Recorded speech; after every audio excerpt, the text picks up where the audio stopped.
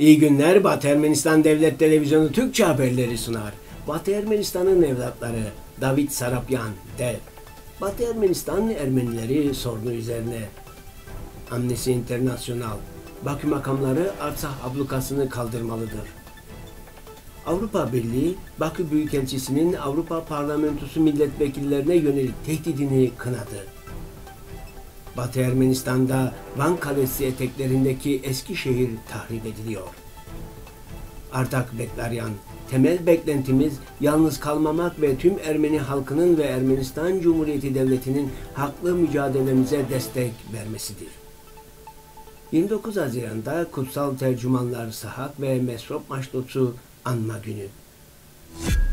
Arsas Savaşı'nın özgürlük savaşçısı, Kurtuluş Hareketi'nin figürü, yazar David Sarapyan, 4 Şubat 1966'da ünlü mimar Edward Sarapyan ve seçkin bilim insanı Emma Sarapyan'ın ailesinde doğdu.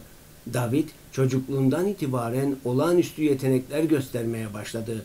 Okul yıllarında çok güzel resim yaptı. Çok okudu, lirik şiirler ve kısa öyküler yazdı. Daha genç yaşta kendini gerçek bir şövalye olarak gösterdi.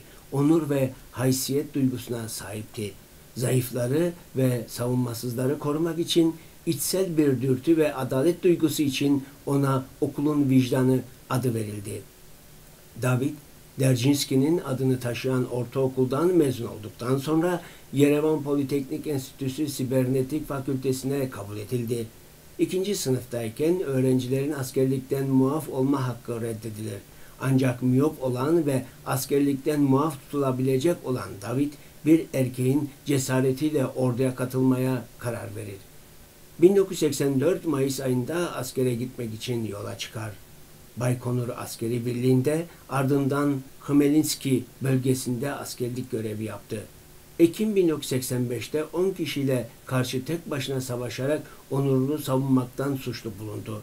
Duruşma sırasında David çatışmanın sebebi istedikleri gibi yerel olarak değil etnik gruplar arası bir yapıya sahip olduğunu beyan etmesine rağmen yine de 4 yıl hapis cezasına çarptırıldı ve hakkında şöyle yazdı. Hayatımı en ilginç yerde ihmal ettim.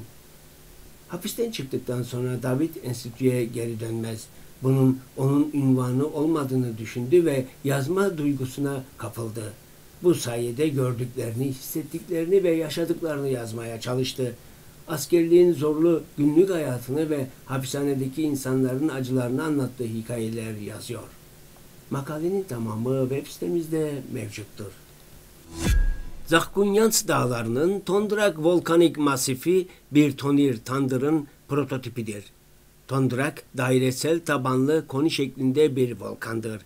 Geleneğe göre Tanrı Vahag'ın bir zamanlar Ermeni dev kadın ve erkekler anlamına gelen reptilyanlara savaş sanatını öğrettiğinde eğitimden sonra Tondrak Yanardağı'nın ateşinin etrafında toplanırdı. Bu dev insanlar konuşur, yemek pişirir ve yiyorlardı. Ve bir gün Tanrı Vahag'ın Tondrak volkanının ateşinden kül alıp dev insanlara verdi, tandır yapmaları ve ekmek pişirmeleri için halka dağıtmayı emretti ve kadınlara da Tonir'in ateşini her zaman canlı tutmalarını emretti. Tüm bunlardan sonra Vahag'ın gökyüzüne yükselir ve tandırın ateşi hiç sönmesin diye oradan seyreder. Ermeniler Tanrı Vahag'ın verdiği Vahagna Grak yani Vahag'ın ateşi bugüne kadar hala canlı tutmaya devam ediyor. Toprak içinde yapılmış tandır ateşi ve dumanı ailenin gücü ve huzurunu simgeler. Güneşe tapan Ermeniler tonir yani tandırı batan güneşe benzettiler. Ermeni kadınları her ekmek veya yemek pişirdikleri zaman Tanrı'ya eğildikleri gibi tonirin önünde de onun tanrısallığına eğilirler.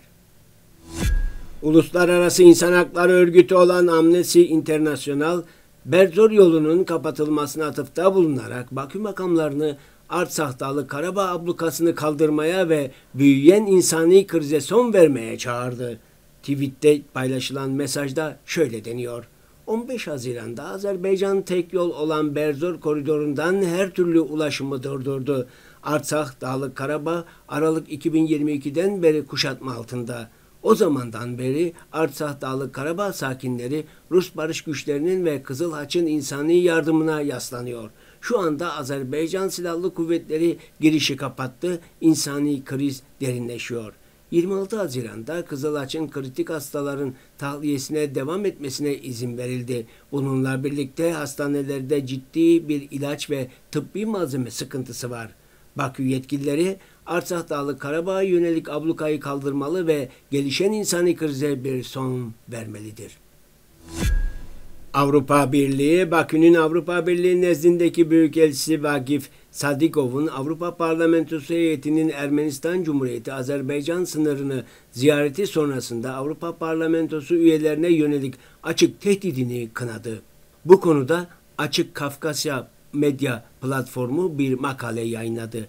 Aynı zamanda Azerbaycan'ın Belçika ve Lüksemburg Büyükelçisi de olan Sadigov, Avrupa Parlamentosu heyetinin Ermenistan Cumhuriyeti'ne yaptığı ziyarete cevaben 23 Haziran'da Twitter'de bir yazı yazdı. Sadigov, Azerbaycan yapımı bir keskin nişancı tüfeğinin fotoğrafını şu mesajla paylaştı. Kendilerini korumak için ne yaptıklarını biliyorlar. Azerbaycan'da üretilen İstiklal, İST-14.5 keskin nişancı tüfeği yaklaşık 3000 metre etkili atış menziline sahiptir. Azerbaycan devlet sınırından uzak durun. Sadigov'un paylaşımı hakkında yorum yapan Avrupa Birliği sözcüsü Açık Kafkas Medya haber platformuna bundan haberdar olduklarını söyledi. Sözcü Avrupa Birliği nezdinde akredite bir büyükelçi için kesinlikle kabul edilemez olan bu tür davranışları kınıyoruz dedi. 26 Haziran'da Avrupa Parlamentosu'nun Güvenlik ve Savunma Konuları Alt Komitesi Başkanı Natalia Luizo da bu tehdide değindi. Natalie Luizo, bu Avrupa Parlamentosu üyeleri için bir tehdit mi? Gerçekten bir Azerbaycan diplomatından mı geliyor? Azerbaycan diplomasisi ne seviyeye düştü? Uluslararası Adalet Divanı'nın kararlarını hiçe sayarak 120 bin kişiyi rehin almanın övünülecek bir yanı yok. Sinirlerini bozan bu mu? Güçlü değerlere sahip olan biz Avrupalılar bundan etkilenmedik. Barışı desteklemeye ve Artsakh Dağlı Karabağ halkına saygı duymaya devam edeceğiz diye yazdı. Batı Ermenistan'daki Van Kalesi'nin eteklerinde kurulu olan eski Van şehri olarak bilinen tarihi kalıntılar tahrip ediliyor. Ararat Krallığı döneminde kurulan ve binlerce yıllık tarihe sahip kalıntılar uzun bir süredir definecilerin hedefinde. Mezopotamya Ajansı'nın haberine göre defineciler kazılarla birçok yeri tahrip etmiş durumda. Definecilerin yanı sıra tarihi kalıntıların olduğu birçok alan ahır olarak kullanılıyor.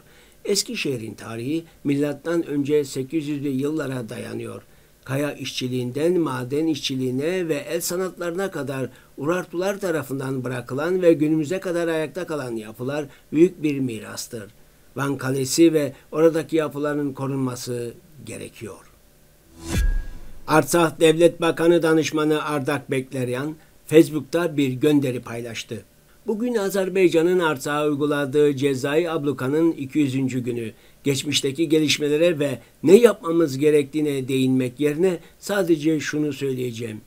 Eminim ablukayı başlatanlar ve uygulayıcılar Artsak'taki Ermenilerin ne kadar dirençli ve kararlı olduğuna şaşkındırlar. Bu tarihi süreçte yalnız kalmamak ve tüm Ermeni halkının ve Ermenistan Cumhuriyeti Devleti'nin haklı mücadelemize destek vermesi temel beklentimizdir.'' Artsakh olmadan Ermenistan olmaz. Batı Ermenistan ve Doğu Ermenistan olmadan Artsakh olmaz. Ermeni Apostolik Kilisesi 29 Haziran'ı kutsal tercümanlar Sahak ve Mesrop'u anma günü olarak kabul ediyor. Kutsal Patrik Sahak Bartev, Büyük Katolikos Nersesi'nin oğluydu müzik, belagat sanatları, anlam bilimi ve dil bilim alanlarında eğitim görmüş ve yetenekli bir şahsiyet olan Sahak Bartev, Ermeni ulusal kültürünün gelişmesine de büyük katkıda bulundu. Ermeni yazılarının oluşturulmasını destekledi ve Papaz Mesrop Maştots ile birlikte Ermeni eğitimi ve kilise bibliografyasının kurucusu oldu. Surp Mesrop Maştots 360 yılında doğdu. Çocukluğundan beri Yunanca ve Farsça öğrendi. İlk başta saray katibi olarak sarayda görev yaptı. Ancak dünyevi hayattan ayrıldıktan sonra katı bir derviş hayatı yaşayan bir din adamı oldu. vaaz kapsamında Surp Mesrop, Ermenice harflere ve Ermenice İncil'e sahip olmanın önemini hissediyordu. Öğrencileriyle birlikte Edesya, Urfa'ya ve Diklanager'de gider, ilahi kudretli Ermeni harflerini tasavvur eder ve nihayet Samosat'ta Hropanos adlı bir Rum yazarla bunların şekillenmesini oluşturur. Harflerin oluşumundan sonra Surp Sahak ve Surp Mesrop İncil çevirisine başladı ve bunu o kadar mükemmel yaptılar ki İncil'in Ermenice çevirisine yüzyıllar sonra İncil çevirilerinin kralçesi adı verildi. Bugün için bu kadarını öngördük. Şimdi size Japon piyanist Keiko Shichijo tarafından seslendirilen Ermeni halk şarkısı Var Şabati Bar adlı eseri sunuyoruz.